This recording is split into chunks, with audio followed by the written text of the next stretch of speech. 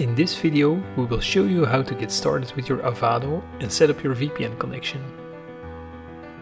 After you have connected your Avado to your internet router and powered it up, you will see a new Wi-Fi network appear on your computer. Go ahead and connect to it to create your initial connection to the Avado. The Wi-Fi password is written on the onboarding manual that came with your Avado. Then go to avado slash start this page shows you that you are successfully connected to your Avado. This page also automatically checks for any package updates that need to be installed.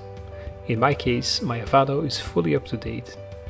So now we can go to the Avado admin page. This is the home screen of the Avado that allows you to install new packages and manage your device. Right now we will just set up the VPN connection, which is a recommended way to connect on a daily basis to your Avado. To do that, click on the Connect menu item. There is one default VPN profile created for you. Click the Share icon to create the credentials file. Then click on the Download icon to download the VPN configuration file. At the bottom of this page you will find links to different VPN clients for your OS. I have already downloaded and installed the macOS Tunnelblick VPN client, which is a free third-party VPN client you have two configuration files you can download. One for local use, when you are in your own Wi-Fi network, and another one if you want to connect remotely to your box. I download the file through my browser and click on it to install it in my VPN client.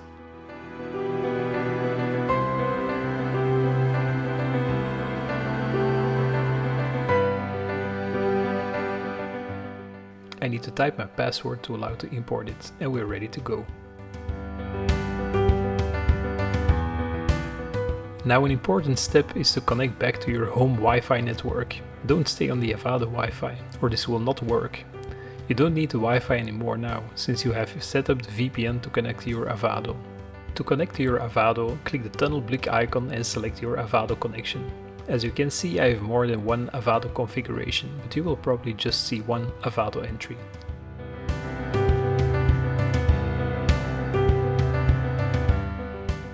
When the status window turns green, your VPN connection is active and you can go back to the admin interface and start installing your first package. Congratulations, you have set up your Avado and you're ready to go.